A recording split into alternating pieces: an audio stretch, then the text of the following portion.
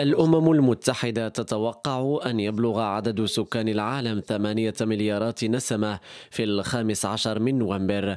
الأمين العام للأمم المتحدة أنطونيو غوتيريش قال في بيان إنه في حين يتوقع أن يبلغ عدد سكان العالم ثمانية مليارات نسمة فإن ذلك هو تذكير بمسؤوليتنا المشتركة للاعتناء بكوكبنا.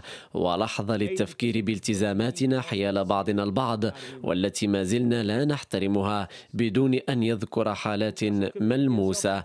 غوتيريش أوضح أنها أيضا مناسبة للاحتفاء بتنوعنا وللاعتراف بإنسانيتنا المشتركة وللتعبير عن إعجابنا بالتقدم المحرز في مجال الصحة والذي مدد فترة الحياة وخفض بشكل كبير معدلات وفيات الأمهات والأطفال. وبحسب إدارة الأمم المتحدة للشؤون الاقتصادية الاقتصادية والاجتماعية فإن عدد سكان العالم ينمو حاليا بأبطأ وتيرة الله منذ العام 1950